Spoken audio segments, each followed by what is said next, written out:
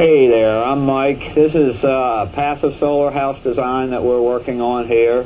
This is our foundation material that we started with. It's ICF, insulated concrete forms. Uh, this is what the foundation is done with. Uh, they stack together similar to blocks and have rebar that goes inside. And then we pump concrete and fill these forms with that for the foundation. From here down to the footing. And then this is just a protection material for our backfill.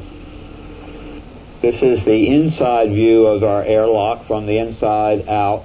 Uh, there'll be a door here that isolates the uh, entryway so that uh, we're, there again we're not escaping conditioned air to the outside.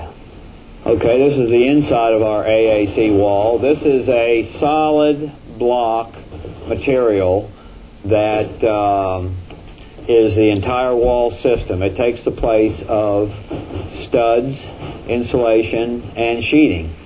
And we'll apply our sheetrock or plaster right over this uh, inside surface and directly stucco the outside surface.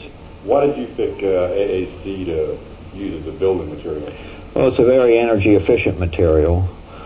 Um, it's also uh, easy to install, but uh, the added benefits are that it is a fireproof material, um, and it, but it's very good for solar applications because of its energy efficiency and its air tightness.